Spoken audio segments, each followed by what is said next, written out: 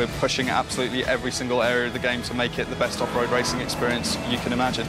It's got a good balance between arcade and realism. Anyone can play it, all different, all different ranges, but there's a lot of depth there at the same time. Dirt 3 gives you a variety of surfaces, a variety of weather conditions, and certainly a variety of cars.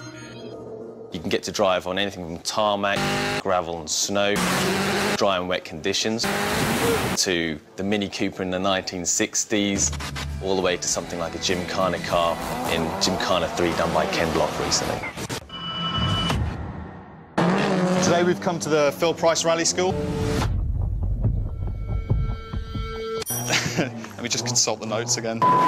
Most of us have got experience of rallying, but we've come here for a refresher course to make sure that we're giving the best experience to our gamers through actually experiencing rally for ourselves. We're uh, in our final practice session before I go out for my time session to compete against all the other guys in the studio.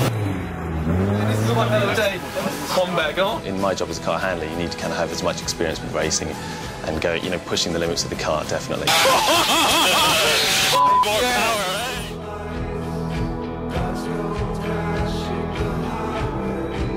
got six head-to-head stages and 32 rally stages.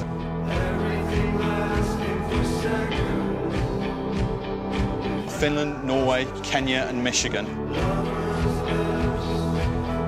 We've got completely new surface type there with snow and ice. We've got dirt, we've got gravel, rocks, we've got grass, and variations within those. So you're driving on mixtures of the two, and that, that we feel is really important.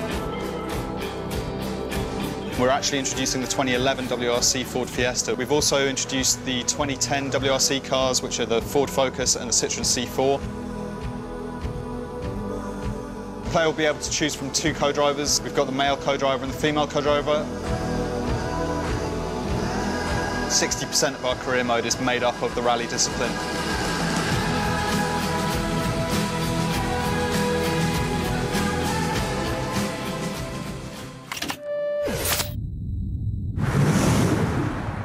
My favourite rally car, it's a difficult question, but just recently we went out in Mark II Escorts. After that sort of experience, it's, uh, that's got to be my favourite car. Audi Quattro, I'd say, one of the old classics. Probably have to come from the Group B uh, section, so maybe Audi Quattro, maybe even the Mark II Escort, it's one of my favourites. That's a tough question. It's got to be the Lancia Delta Integrale. Anybody who's gone anywhere near a car can enjoy the sensation of driving rally stages as fast as they can. No racing game has given you such a great balance of realism and accessibility. Dirt 3's release is going to be so exciting.